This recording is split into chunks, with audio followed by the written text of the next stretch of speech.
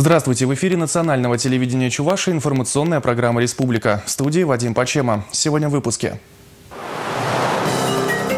900 дней мужества. В Чебоксарах открылась выставка, посвященная блокадному Ленинграду. Чем больше, тем лучше. Кабмин Чувашии обсудил первое в этом году увеличение бюджета. Сморкалось. В республике отмечается сезонный рост заболеваемости гриппом.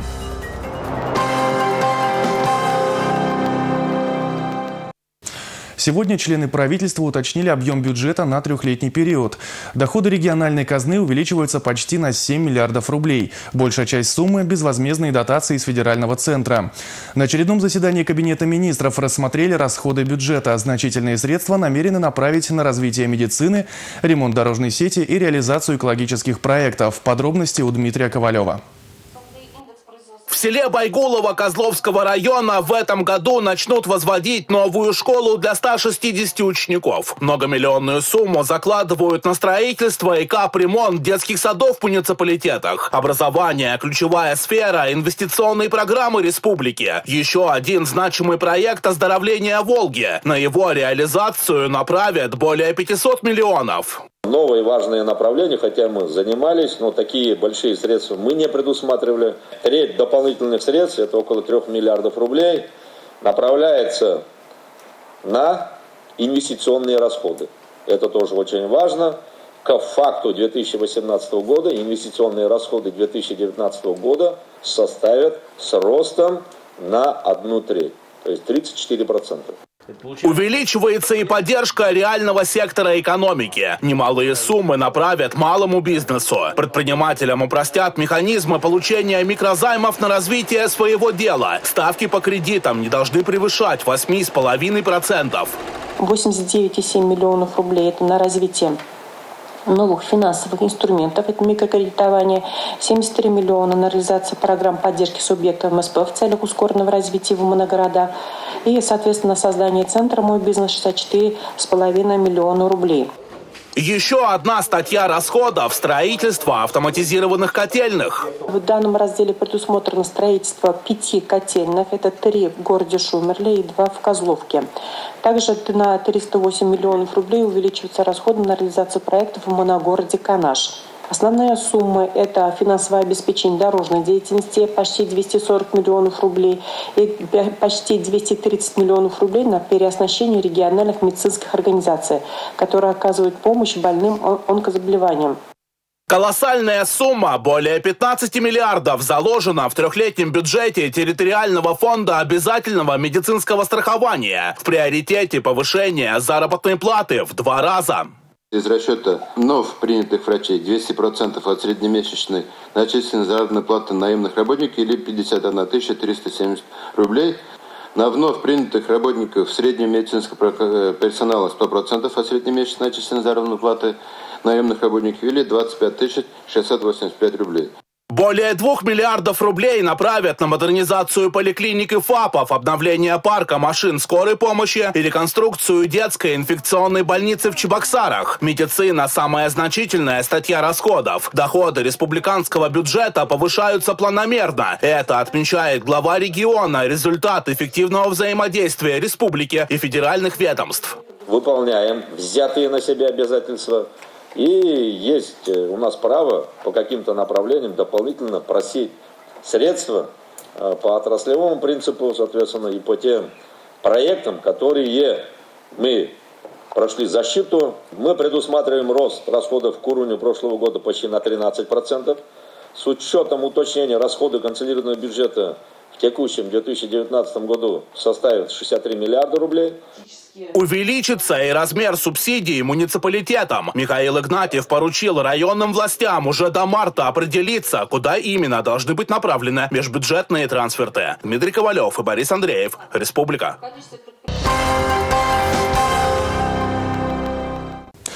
Сегодня в кадетском корпусе имени Александра Кочетова прошел необыкновенный урок.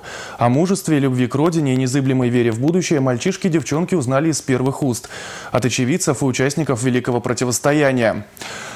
В эти дни в России отмечают 75-летие полного снятия блокады Ленинграда. За 872 трагических дня от голода, холода и бомбежек погибли более 600 тысяч жителей. Из города на Неве эвакуировали около полутора миллионов человек, в том числе и в Чувашию. Летом 41-го пятилетняя Нина Минина со своим старшим братом учились в лесной школе в 40 километрах от Ленинграда. Когда началась война, родители поехали их забирать, но поезд попал под бомбежку. А нас в это время оттуда машины, машины какие-то, ну мы не знаем, что мы дети, одному дети, другому, мы не знали. Нас в машину кидали. Но мы думали, в Ленинград везут, а оказывается, немцы были. Сели, а машины крытые. Почему я боюсь крытые машины? Мне сразу плохо становится до сих пор. Брат меня оттуда выкинул, когда машины тронулись. Брат оттуда меня выкинул. Кто мог, выпрыгнул, а там леса же кругом. Все по лесам разбежались, кто смог. Нина с другими детьми шли пешком до Ленинграда. По дороге они встретили маму и папу, которым удалось выжить. Казалось бы, страшным событиям пришел конец, но это было только начало. Когда нас со школы привезли, мы с братом ходили, собирали траву всякую такую. Травы очень много было, собирали траву. Все, что можно было, собирали на зиму. А потом меня привязывали к забору. Нас троих привязывали к забору, а сами уж ходили на работу родители. А потом мертвецов клали. Это мы сидим тут около забора привязаны, а тут мертвецы лежат. Машины не всегда приезжали. Это вот осенью, зима. Виктор Никулин тоже смог пережить ту страшную зиму. Отец ушел на фронт, а он с мамой и младшей сестрой остался в Ленинграде. Их дом разбомбили немцы, семье удалось спастись. В 42-м голод забрал у пятилетнего Витя маму и сестренку. Ну, а меня забрали по госпиталям, таскался.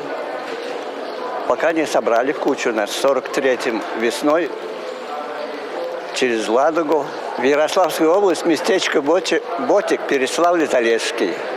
На их груди множество наград, и теперь к ним присоединится еще одна. Этот памятный знак в честь 75-летия полного освобождения Ленинграда от фашистской блокады учредили власти Санкт-Петербурга. Сегодня его получили 12 ленинградцев. Наша задача – продлить ваше долголетие, чтобы окружение, где вы бываете, обращали на это внимание, и кроме добрых ласковых слов, еще была оказана пассивная такая волонтерская помощь. Татьяна Леонтьева, Бахтияр Велиев, Республика. 900 дней мужества. Так называется выставка, посвященная блокадному Ленинграду, которая открылась в Чебоксарах. Знакомилась с экспозицией и слушала тех, кто помнит эти страшные дни, Ольга Пырочкина.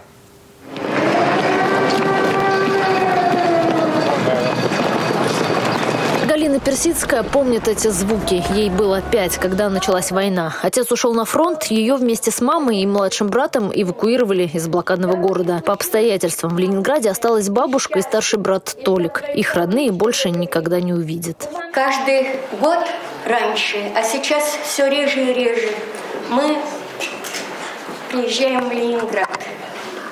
И приезжая в Ленинград, первое, что мы делаем – это обязательно посещаем Пискаревское кладбище.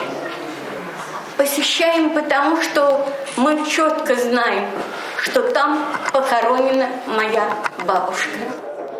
Похожую историю могут рассказать еще более 600 тысяч семей, чьи родные лежат там же, на Пискаревском. Увидеть своими глазами, сколько это? 125 грамм хлеба, которые надо растянуть на целые сутки. Сейчас можно в музейно-выставочном центре в Чебоксарах. Там открылась выставка «900 дней мужества». Молодежная команда Общероссийского народного фронта выступила партнером и провела акцию «Открытка памяти». Как выживали люди, как им тяжело было в это время. Там в первую очередь человек, когда холодно и он еще голодный, я не представляю, как они выживали в это время. Эта акция направлена на то, чтобы а, люди, которые живут сейчас в мирное время, всегда помнили подвиг ленинградцев, подвиг не только солдатов, которые служили в Ленинграде в то время, но и простых людей. Всегда помнит, поэтому и не мог не прийти на открытие выставки Михаил Абрамович Ларин. В 41-м ему было два года. Сейчас в Чебоксарском совете ветеранов он отвечает за патриотическое воспитание молодежи. В 45-м году война закончилась, отец э, пришел нам зашел на рынок, купил мешочек лесных орехов. Вот с этого момента началась мирная жизнь. Чебоксарах увидеть фотографии жизни осажденного города и другие экспонаты из фондов Музея Победы можно будет до 31 марта. Ольга Пырочкина, Бахтияр Велиев, Республика.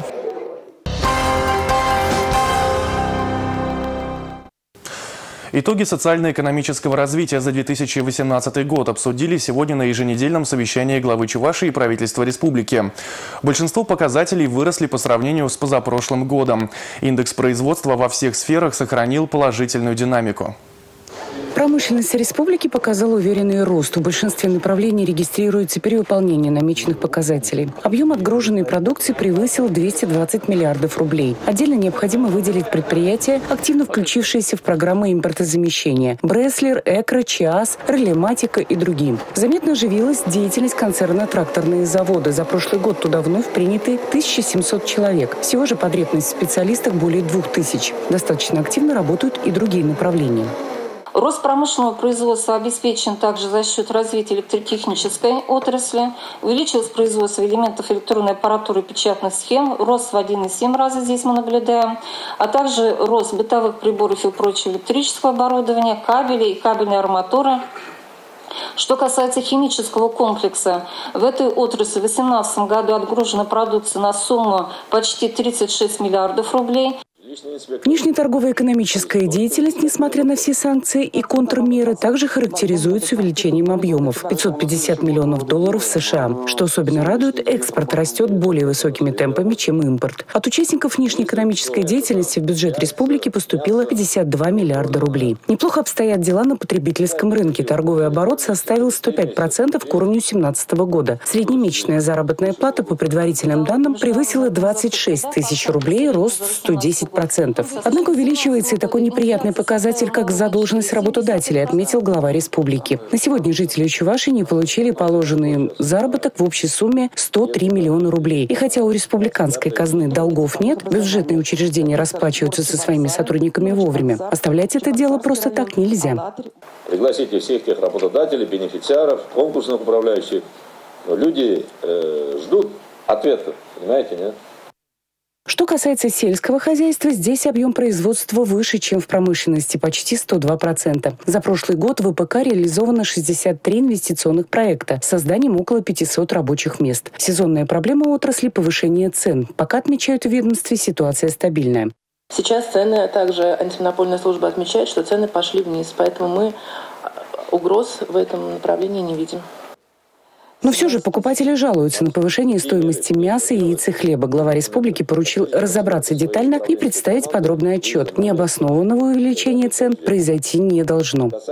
Если они на сегодняшний день наценки дают нам розницы более чем на 10%, это уже предмет для рабочего разговора и взыскательного подхода к этим вопросам. И надо будет здесь знать, вот через месяц какая ситуация будет, через два месяца какая ситуация будет. Елена Гальперина, Дмитрий Ковалев, Борис Андреев. Республика. И огромные стали, понятно, коммунальные. Ростуризм одобрил два инвестпроекта из нашей республики. Оценивала качество заявок компетентная конкурсная комиссия из представителей Ростуризма, Министерства экономического развития, Министерства культуры, Общественной торгово-промышленной палат. Поддержку получили два проекта туристического кластера «Чувашия. Сердце Волги». Это реконструкция Красной площади и залива и реконструкция Московской набережной у Свято-Троицкого монастыря. Работа по подготовке подготовки проектов велась совместно с правительством Чувашии. Сейчас главная задача – завершить оформление документов и представить их в Ростуризм для подписания соглашения. На территории опережающего социально-экономического развития Канаш появился третий резидент. Им стала ООО «Канпромтех». Компания намерена реализовать инвестиционный проект «Организация металлообрабатывающего производства мощностью 6 тысяч тонн в год».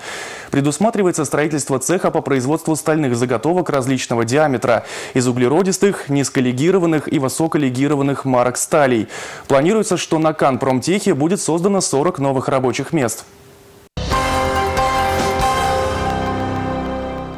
Полторы тысячи участков и 8 тысяч зданий не стоят на кадастровом учете. Это итоги инвентаризации на территории Чебоксар. Что еще показала проверка, обсуждали на еженедельном совещании в столичной администрации. Сводная база данных и снимки беспилотников позволили обследовать 25 тысяч гектаров земель. Проверка показала, часть участков отсутствует в базе налоговых органов, у других указана неправильная кадастровая стоимость. Некоторые не оформили право собственности или самовольно захватили земельные участки. Бюджет Чебоксар не досчитался более 20 миллионов рублей. Это направление – инвентаризация, уплата налогов собственниками, выявление участков, которые не зарегистрированы, Тут, как вы уже обозначили, потенциал около 20 миллионов рублей. Его нужно реализовать в течение года. Проверка изменений в базах управления Росреестра и налоговой службы проведение полевой инвентаризации, обход сложных территорий, личное вручение извещений, определение этажности зданий, а работа с садоводческими и некоммерческими товариществами. Призываем граждан и предпринимательское сообщество в избежании проблем, связанных с наложением административных штрафов за использование участков без документов, штрафов за уклонение от уплаты налогов, своевременно провести работу по регистрации прав на недвижимость. Для этого нужно обратиться в Росреестр и оформить право собственности. Документы будут готовы за две недели. Татьяна Леонтьева, Алина Сусметова, Игорь Зверев. Республика. Снегопад, который в минувшие выходные накрыл Москву, до Чувашии не доберется. Таковы прогнозы синоптиков. До середины недели осадков вообще не ожидается. Так что у коммунальных служб есть время убрать последствия предыдущих разгулов стихии. Чебоксарцев призывают активнее участвовать в проекте «Стоп сугроб». Возобновляем акцию «Стоп сугроб». Если в вашем дворе есть неубранные сугробы, блокирующие движение людей и автотранспорта, присылайте фото, адрес, дату съемки на электронную почту stopsugrob собака gmail.com. Об устранении нарушения вам придет ответ с фотоотчетом. Сказано на официальной странице в Инстаграме главы администрации Чебоксар Алексея Ладыкова. Градоначальник призвал коммунальные службы не затягивать не только с уборкой сугробов, но и с фотоотчетами. С начала акции от граждан пришло 104 обращения, отчитались об уборке с фотографиями пока только по 11 заявкам. Есть проблемы и с уборкой снега на парковках в спальных районах. Глава города Евгений Кадышев обратил внимание управляющих компаний, что трудностей бы не возникало, если бы автомобилисты заранее знали о предстоящих работах. Надо договариваться с жителями, вывешивать объявления на подъездах, вывешивать объявления на стоянках. Вот таких объявлений о том, что какое-то время будет убрана вот эта ваша автостоянка, и там не должно быть автомобилей, тоже пока что мы не нашли. Я думаю, что либо их срывают раньше времени, либо их вовсе не было. Эта идея очень здоровая и очень хорошая, я думаю, надо ее по ней работать. Что касается автолюбителей, их просят не игнорировать просьбы убрать транспорт на время работы техники. Ольга Пырочкина, Алина Сусметова, Игорь Зверев. Республика.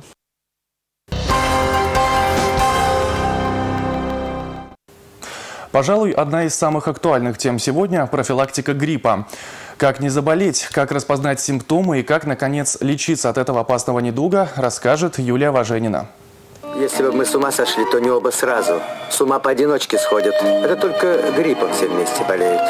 Подлый вирус – этот грипп, как правильно заметил папа дядя Федора из мультика «Простоквашино», грипп, пожалуй, одна из самых массовых болезней человечества. Ежегодно этот вирус подхватывает каждый третий житель планеты.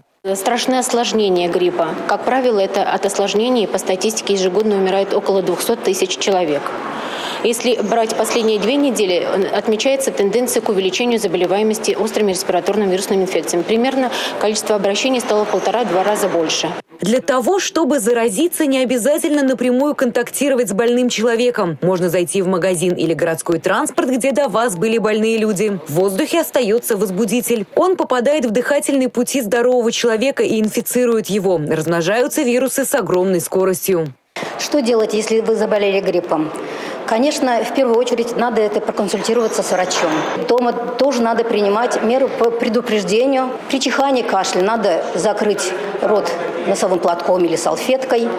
А, часто надо, в общем-то, делать э, влажную уборку в квартире, проветривать и не забывать очень тщательно и часто мыть руки. Врачи в один голос твердят, самый надежный способ защиты от гриппа – вакцинация. Современные противогриппозные прививки эффективны. Даже если вы заболеете, то перенесете грипп намного легче. Правда, прививаться нужно не во время вспышки заболевания, а осенью, как это делает Анна Карасева. Она ставит прививки уже пять лет подряд. Прививки делаю каждый год. А так переносится легче, конечно, после прививки. Но болею, бывает, не без этого. Гриппом ни разу не болела. Сила прививки в ее специфичности. Организм вырабатывает иммунитет против тех штаммов вирусов гриппа, которые использовали при создании вакцины. Это значит, что при встрече с ними организм будет во всеоружии. А чтобы ему помочь, нужно укреплять иммунитет. Как известно, лучшее лечение – это профилактика, и в случае с гриппом это правило работает на 100%. Свести к минимуму вероятность заболевания могут продукты, содержащие витамин С. Это лимон, апельсин, грейпфрут и клюква. Их нужно есть всю зиму. Кроме того, следует пить отвар из шиповника. Ну а если при этом добавить ложечку меда, то польза будет двойной. Юлия Важенина, Валерий Резюков, Республика. Выходные на лыжах. Сотни любителей зимнего вида спорта объединили соревнования по лыжным гонкам на призы главы Чувашии Михаила Игнатьева. В индивидуальных дисциплинах мужчины и женщины стартовали в субботу, а в воскресенье – семейные эстафеты. Одни короче, другие длиннее. К выбору лыж Татьяна Белова подходит основательно. За час до старта пробует лыжню. Так она проводит отпуск на малой родине, представляя на соревнованиях Вурнарский район. Две пары, вот из них этот, остановлюсь на одной из них. Какие покажутся приятнее под ногой, на тех и побегу. А так, в принципе, как бы особо в такую морозную погоду как бы изощряться в смазке нет смысла. Погода не только заставила участников утепляться и подбирать лыжи, но и внесла коррективы в расписание стартов. По правилам соревнований мы обязаны, если э, погода более э, 20 градусов мороза, мы обязаны контролировать соревнования. И поэтому мы перенесли на полчаса. Сейчас э, где-то градусов 16-17 и спокойно можно организовать соревнования. Из года в год количество участников растет, как и число приезжих ветеранов и любителей лыжного спорта. В этот раз на старты заявились представители республик Мариэл, Татарстан, Саха, Якутия. Приехали из Кировской и Мурманской областей. Вы просто не можете без этого вида спорта. Спорт для вас и для ваших семей уже норма жизни. Это на системной основе, ежегодно, традиционно мы уже проводим эти соревнования. Среди мужчин практически 11 стартов Среди женщин тоже 11, 11 стартов. Я помню, два года назад ветераны просили нас, чтобы включили дополнительную номинацию. Раньше было 70 и старше, а сейчас у нас есть старт 76 и старше. Самому возрастному любителю 89 лет. Пимен Петров не пропускает ни одного соревнования. Его деревянным лыжам 81 год. Чуть моложе Алексей Богданов. Ему 73, а по внешности и не скажешь. Многие удивляются, как мне другой раз 60 лет дают, там то все молодежь удивляется, как это. Я говорю, вот мне столько лет, потому что спорт очень помогает. Я многие болезни себе сам вылечил, как бы сказать. Ну, 30 лет я бросил, 40 лет вот по новой начал. Весь больной был, вот все, вылечил себя столько из-за спорта. Очень сильных много сейчас у нас в нашей группе, много сильных. Мастера спорта ребята есть. Пять километров свободным стилем мужская дистанция. У женщин немного меньше, три километра. Три, две, одна, марш! Спортивный праздник продолжился и в воскресенье. На трассу спортшколы Олимпийского резерва номер два вышли с семьями. Мастер-класс юным участникам дал глава Чувашии Михаил Игнатьев, перед стартами опробовав лыжню. В эстафете первыми на дистанцию 400 метров отправились дети. Затем вдвое больше бежали мамы, а папы, преодолев полтора километра, финишировали. Да, мы каждый год да. участвуем уже как вот начались эти соревнования, практически с того и времени, это буквально сколько, 5-7 лет уже, да? Ежегодно участвуем во всех соревнованиях, по ветеранам тоже бегаем. У нас старшая дочь тоже тренируется, мы да. с ней бежали, но она сейчас выросла, поэтому не бежит, и она в другом городе да, нас сейчас учится. Со средней бежим. Скоро маленький подрастет, с маленьким будем бегать. Всего же семейные лыжные команды разыграли награды в пяти номинациях. Ирина Волкова, Игорь Зверев, Валерий Резюков. Республика. Это все, о чем мы успели рассказать вам сегодня. Всего доброго и до встречи в эфире национального телевидения Чувашии.